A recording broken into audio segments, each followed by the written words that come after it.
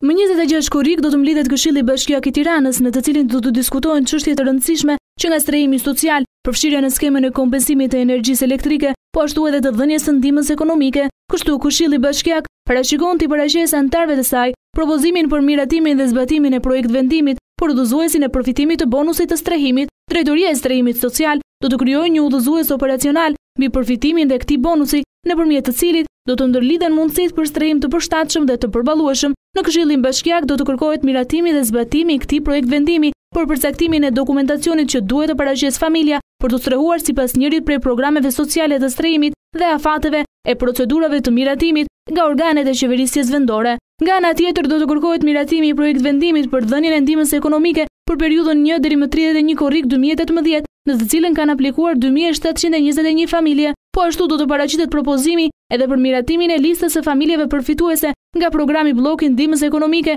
deri më gjashtë për qind nga fondi i kushtëzuar për periudhën një deri më tridhjetë qershor dy mijë e tetëmbëdhjetë, si dhe miratimin e pagesës për personat me aftësi të kufizuar dhe invalidët e punës për periudhën një deri më tridhjetë e një korrik dy mijë e tetëmbëdhjetë për njësitë administrative të Bashkisë së Tiranës. Lidhur me energjinë elektrike, bashkia do të kërkojë miratimin e kompensimit për kategoritë përfituese për periudhën një deri më tridhjetë qershor dy mijë e tetëmbëdhjetë, në të cilën referuar vendimit numër katërqind e katër datë njëzet gjashtë dy mijë e dymbëdhjetë të Këshillit të Ministrave, kategoritë që përfitojnë kompensim për faturën e energjisë elektrike janë individë përfitues të statusit të invalidit, paraplegjik dhe tetraplegjik, të statusit të të verbrit që kanë nevojë për kujdestar, propozimi parashikon t'u jepet kompensim për faturën e energjisë elektrike në masën dy mijë lekë në muaj. Më tej projektvendimet për miratim do të jenë edhe për miratimin në parim të studimit të fizibilitetit dhe kontratës.